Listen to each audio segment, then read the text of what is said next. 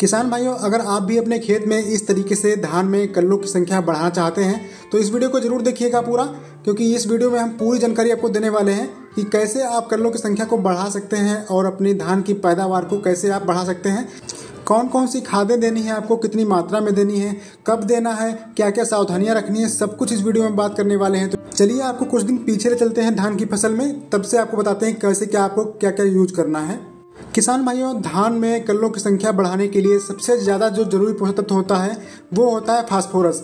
तो इसलिए अगर आपने धान की रोपाई करते समय अगर बेसल डोज के रूप में आपने डीएपी नहीं डाला है तो भी आपको हम बताएँगे तरीका आप कैसे यहाँ पर कलर की संख्या बढ़ा सकते हैं। लेकिन आपको जब भी धान की रोपाई करें तो उस समय आपको धान की फ़सल में जब आप लास्ट जुताई करते हैं, उस समय आपको डीएपी ज़रूर देना है। चालीस से पैंतालीस किलोग्राम या पचास किलोग्राम अधिकतम दे सकते हैं। अगर आपने जो वहाँ पर मिट्टी की जाँच नहीं करा पाई है तो आप पचास किलो तो दे दीजिएगा एक बैग। लेकिन अगर आपने मिट्टी की जाँच करा ली है तो उस आधार पर आप वहाँ पर डीएपी दे सकते हैं।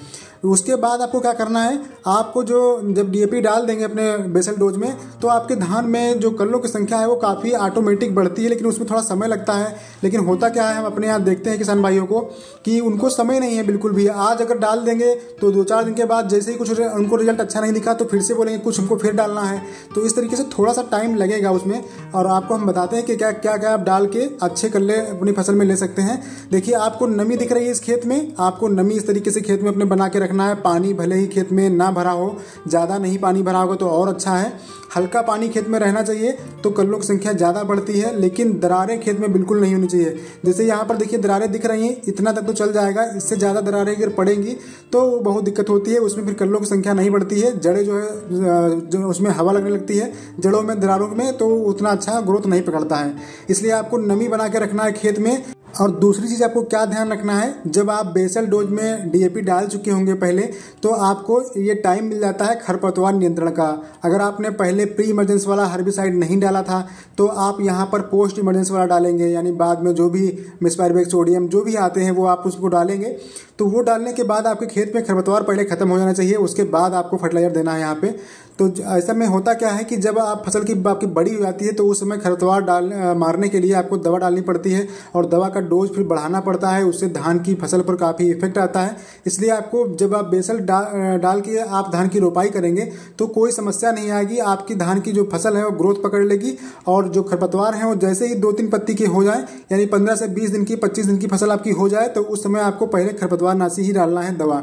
अगर आप हाथ से कर सकते हैं तो हाथ से कर लीजिए नहीं तो आप वहाँ पर दवा डाल दीजिए उसके बाद आपको टाइम मिल जाता है बहुत अच्छा खासा अपनी फ़सल को बूस्ट करने का। वहाँ पर आपको क्या करना है? जैसे ही आपके खरपतवार मरने लगे, उस समय आपको क्या करना है? आपको पहला डोज देना है यूरिया का। यूरिया के साथ आपको क्या मिलाना है?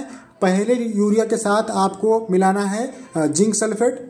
तीन से पाँच किलोग्राम प्रति एकड़ के हिसाब से अगर आपने पहले जिंक दे दिया है, उससे पहले आप डाल चुके हैं तो जिंक के अलावा आप जिंक को छोड़ दीजिए, आप उसके साथ फेरस सल्फेट दीजिए।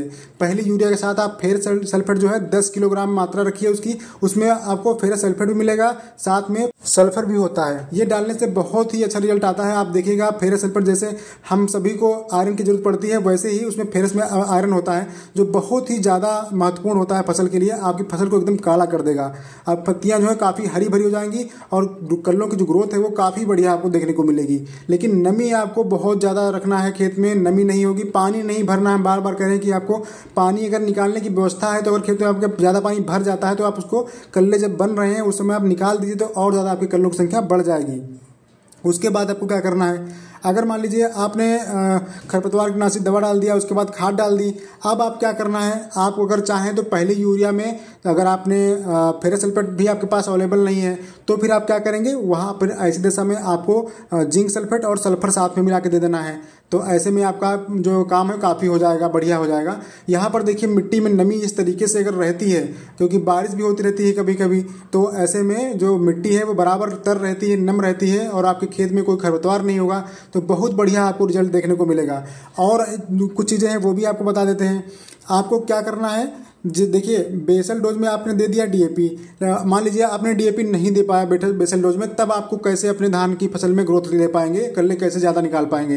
क्योंकि फास्फोरस तो आपने दिया नहीं है। फास्फोरस का मेन काम होता है जड़ विकास करना। जब जड़ विकास होगा, तभी आपके जो फ़सल है, वो कल्लों की संख्या ज़्यादा निकालेगी तो ऐसे में आपको क्या करना है जब आपकी धान की फ़सल रोपाई से लगभग आपकी पच्चीस दिन की फ़सल हो जाए, बीस से पच्चीस दिन रोपाई के हो जाए, और आप पहली या फिर आप जो पहली यूरिया का डोज जो है वो दे चुके हैं, फेर सल्फेट या जिंक जो भी आपने दिया है, वो अगर आप दे चुके हैं तो उसके तीन से चार दिन के बाद या एक हफ़्ते के अंदर अंदर आपको जो एन आता है, किसी भी अच्छी कंपनी का, जैसे एन पी इफ्को का हुआ, वो एन कौन सा लेना है आपको? बारह इकसठ ज़ीरो।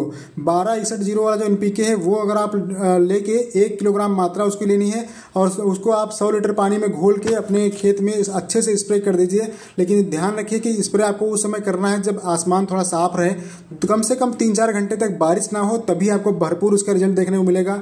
और इसी इस एन के साथ में आपको और कुछ मिक्स नहीं करना है, बस आपको सिर्फ़ एन पी के बारह इकसठ ज़ीरो का लेना है। एक किलोग्राम मात्रा रहेगी, सस्ता मिलता है, ज़्यादा महँगा भी नहीं आता है, डेढ़ दो सौ रुपये का मिल जाता है। इफ्को का दो सौ या ढाई सौ रुपये का कुछ आता है। तो आप वो ले लीजिएगा, सबसे बढ़िया रिज़ल्ट उसका देखने को मिलता है। और क्योंकि उसमें फास्फोरस की मात्रा जो है इकसठ परसेंट है तो वो बहुत बढ़िया काम करता है जड़ों के विकास करने में। इस तरीके से देखिए, ये फ़सल कितनी अच्छी चल रही है। अब आपको देना है दूसरा डोज यूरिया का, वो कितने दिन के बाद देना है? लगभग जैसे पहले आप खाद दे रहे हैं, यूरिया दे रहे हैं, उसके आपको 15 से 20 दिन बाद दूसरा डोज आपको देना है। तो अगर आपने शुरुआत में जल्दी दे दिया था तो उससे आपको लगभग आप ये मान लीजिए कि आपकी जो पौध जो है रोपाई हो चुकी है, उससे आपको 30 से 40 दिन के अंदर अंदर आपको दूसरा डोज देना है। क्योंकि कल्ले निकलने का जो समय होता है, वो पचास से साठ दिनों के अंदर अंदर लगभग खत्म हो जाता है। तो उससे पहले ही आपको सारा इंतज़ाम कर कर देना है। यहाँ पर देखिए कल्लों की संख्या कितनी ज़्यादा है। गिनते गिनते आप थक जाएँगे। अभी ये मात्र पैंतीस दिन की जो फ़सल है, वो है। और इसमें कल्लों की संख्या आप देख सकते हैं कितनी ज़्यादा हो गई है। तो आपको क्या करना है? जो दूसरी यूरिया देना है, दूसरा जो यूरिया का डोज देना है, वो आपको क्या उसमें देना है? आपको लेना है पैंतीस से चालीस किलोग्राम यूरिया और साथ में आपको लेना है सागरिका। इफ्को की सागरिका आपको लेनी है या फिर कर्बको की सिवारिका आती है, वो आप ले सकते हैं, लेकिन डोज उसका रहेगा दस किलोग्राम प्रति एकड़ के हिसाब से। तो इन दोनों चीज़ों को आपको मिलाना है बहुत अच्छे तरीके से, और उसके बाद देखेंगे आपको जैसे ही आप डाल देंगे तो आपकी फ़सल जो है उसके पंद्रह से बीस दिनों के बाद आपको रिज़ल्ट दिखाई देगा उस आपके आपके खेत में। तब तक आपको कुछ नहीं देना है, उसके बीच में आपको अगर कोई रोग दिखता है, कोई कीट दिखता है तो आप देख लीजिएगा, उसको अनुसार आप दे सकते हैं। लेकिन जैसे ही आप दूसरा डोज दे देंगे यहाँ यूरिया का और सागरिका का, उसके बाद आपको पंद्रह से बीस दिनों को इंतज़ार करना है और कुछ नहीं करना है, खेत में नमी बना के रखना है, और आपकी फ़सल इस तरीके से दिखेगी। क्योंकि ये देखिए, इस तरीके से जो फ़सल दिखती है ना तो देखने में बहुत हरा भरा और खेत भी अच्छा लगता है। पूरा खेत भर चुका है। तो ये तरीका है दोस्तों, आपके धान में कल्ले बढ़ाने का। अगर आपने अभी तक इसमें से जो जो फर्टिलाइज़र दिए हैं, उन फर्टिलाइज़र को उन आप हटा दीजिएगा, बाकी जो आपने नहीं दे पाए हैं अभी तक, वो आप दे सकते हैं और अपने खेत में आप निगरानी करते रहिए। अगर आपको कोई रोग की कोई समस्या, कोई पत्तियों पर कोई संकेत मिल रहा है आपको, अपने खेत में आपको कोई लक्षण दिख रहा है किसी रोग के तो आप उसका ज़रूर समाधान करें। बाकी आपको जो हमने बताया है, उसके आधार पर आप बहुत अच्छा अपना फ़सल का मेंटेनेंस कर पाएँगे। बहुत अच्छी आपकी फ़सल चलेगी। तो इस वीडियो में बस इतना ही रखते हैं। अगर आपको हमारी जानकारी पसंद आई है, कुछ भी आपको यहाँ सीखने को नया मिला है तो इस वीडियो को लाइक कर दीजिए और चैनल पर पहली बार सब्सक्राइब कर लीजिएगा।